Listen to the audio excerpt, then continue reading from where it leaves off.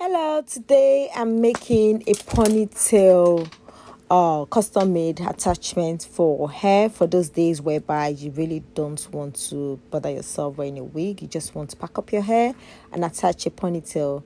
So i'm using a double drawn brazilian hair nice hair thick. So the customer wanted 24 inches. So i'm using 24 inches uh natural wave so I am doubling the hair, I doubled the width to make it thicker. So I'm sewing the two width together first before attaching it to the uh, base, which is the ponytail base. So that is the ponytail base.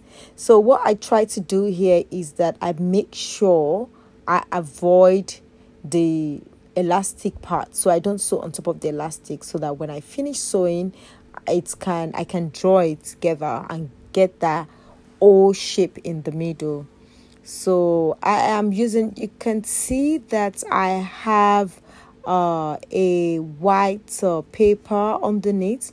So the material of the ponytail it's very difficult to sew that on a sewing machine so i use the paper to give it more you know foundation to give it that grip. So after i take off the paper right here because customer is doing it the same day i couldn't take off all the paper but i took out majority of it. This place is going to be in anyway and when she wash it everything will come off eventually. So that's the elastic rope i talked about. You have to avoid not sewing on top of that so that you can get that um can get that round thing when you pull it and all that. So right now i'm attaching it on the customer's hair a ponytail the hair looks amazing you know because of the density and of course the quality of the hair.